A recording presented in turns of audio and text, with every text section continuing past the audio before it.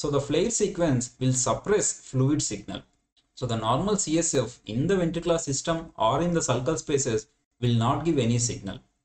FLAIR is a very good sequence to appreciate subtle abnormalities. Just for example, if you see in these two images, here the cortical bright signal you may not be able to appreciate clearly because of the adjacent CSF bright signal. But here you will be able to appreciate the same bright signal much easily because of the background suppression of the CSF signal. So when you are looking at the FLAIR sequence, always look for any abnormal bright signals either in the cortex or in the white matter or in the bone also. And more importantly, look at the sulcal spaces because the CSF in the sulcal spaces should be completely suppressed. Thereby, the normal sulcal spaces should not give any signal in the FLAIR. Presence of any bright signal in the sulcal spaces, you should be able to pick it up because it can be meningitis or it can be slow flow in the vascular structures. So the normal sulcal spaces or the ventricles should not give any bright signal on the FLAIR sequence. But there are certain mimics where presence of bright signal in the ventricular system can be considered as normal.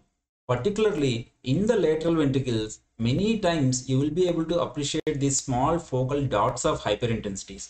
Not only here, but in the prepontine cisterns also, you will see some bright signal. This happens because of CSF flow. From our understanding previously, at the foramen of Monro, CSF is moving with significant velocity. So these bright signals always occurs just above the foramen of Monro where there is significant movement of CSF is happening. Similarly at the prepontine cisterns where there is significant movement is happening.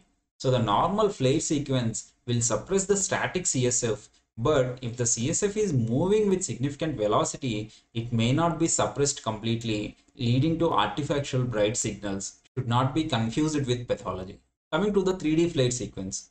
3D FLAIR is an extremely useful sequence, particularly if you are doing on 3D MRI, because it provides excellent resolution and not only the brain parenchyma, it covers many other areas also. And it can be reformatted into the axial and coronal images also as you can see, it can cover the orbits, the paranasal sinuses, the neck spaces, even superior aspects of cervical spine also will be covered in using a 3D FLAIR. And 3D FLAIR suppresses the fat signal also.